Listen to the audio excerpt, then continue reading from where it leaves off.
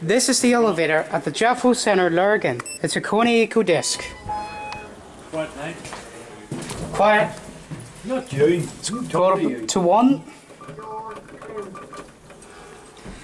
Capacity is 630 kilos, 8 persons, built in 2006, 12 years ago.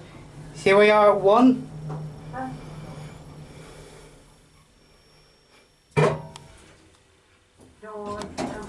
Let's go back down to zero to my car view. It's pretty basic Kone EcoDisc. Look what I see here now. It's got the flow indicator and the capacity is 630 kilos, 8 persons, built to 2006. Here we are back down at zero. These are the fixtures, Kone EcoDisc logo. Stop doing that. Please. Please, now we can exit the elevator. Alright, You Get a job here. you get a job here. There goes, and and that's it.